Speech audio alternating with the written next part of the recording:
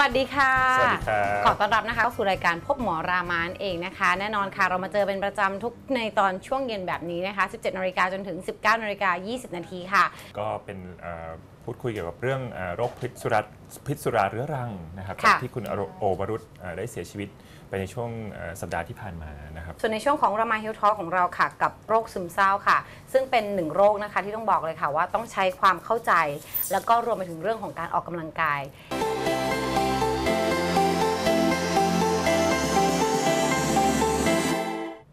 เป็นอีกหนึ่งข่าวนะคะกับการสูญเสียคนในวงการบันเทิงค่ะ ที่สร้างความโศกเศร้าแล้วก็เสียใจนะคะ ให้กับทุกคนที่ได้รับรู้ถึงการจากไปนะคะ ของอดีตพระเอกชื่อดังค่ะ คุณโอวรุษวรธรรมค่ะ ที่ได้ไปอย่างสงบนะคะ เริ่มต้นหลังจากที่เข้ารับรับรับการรักษาค่ะ ตั้งแต่คืนวันที่ 9 กันยายน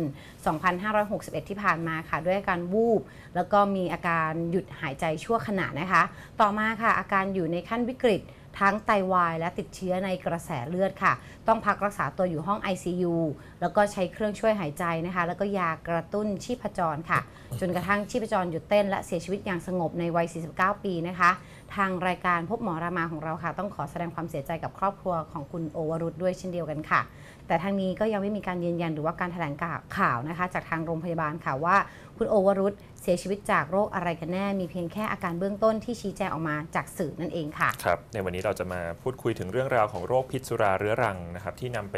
สู่ผลร้ายต่อร่างกายอย่างไรบ้างนะครับ ซึ่งอาจารย์ที่จะมาให้ข้อมูลกับเราในสายก็คือรองศาสตราจารย์แพทย์หญิงอภัสนีโสพลสริตสุขสาขาวิชาโรคทางเดินอาหารและตับ ภาควิชาอายุรศาสตร์ คณะแพทยศาสตร์ โรงพยาบาลรามาธิบดี มหาวิทยาลัยมหิดลครับ ค่ะ สวัสดีอาจารย์ค่ะ สวัสดีครับ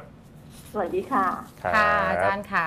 ก่อนอื่นต้องถามถึงโรคพิษสุราเรื้อรังก่อนค่ะ ว่าโรคนี้มีความรุนแรงมากน้อยขนาดไหนคะอาจารย์ ค่ะ ก็โรคนี้ก็เป็นโรคที่มีความรุนแรงค่อนข้างมากนะคะ เพราะว่าการอ่ามีปัญหาจากการกินสุรา มานานๆเนี่ยจะทำให้ การทำลายของระบบต่างๆ ในร่างกายทั้งสมอง ทั้งหัวใจ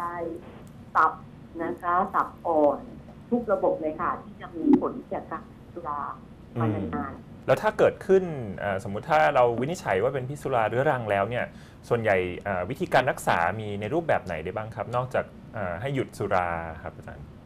ค่ะคนไข้ที่มีโรคพิษสุราเรื้อรังเนี่ยค่ะก็จะมีอาการที่ สามารถบ่งบอกได้ว่าอาจเป็นภาวะนี้นะคะเช่นจะมีการติดที่ต้องดื่มสุราอย่างมากทุกวันนะคะ อย่างตื่นมาตอนเช้าก็ต้องดื่มนะคะ และไม่เพียงแต่เท่านั้นก็จะต้องดื่มมากขึ้นเรื่อยๆนะคะนั้นอาการที่เกิดจากการที่ติดสุราแล้วเกิดพิษสุราเรื้อรังเนี่ย ถ้าเมื่อไหร่ก็ตามที่หยุดดื่มสุราเนี่ยก็จะมีอาการเหมือนกับกระหายนะคะ เหมือนกับที่เราเรียกภาษาชาวบ้านว่าลมแดงนะคะค่ะเพราะฉะนั้นเมื่อเมื่อไหร่ก็ตามที่เรา คนรู้จัก